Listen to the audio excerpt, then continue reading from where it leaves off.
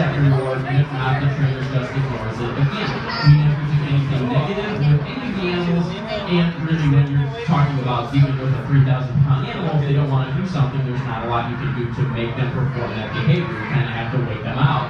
Uh, if at the end of the day the uh, animal decides that it just wants to take the day off, it doesn't want to perform any of those behaviors today, it will still receive its full diet at the end of the day. So it's not like we hold back uh, any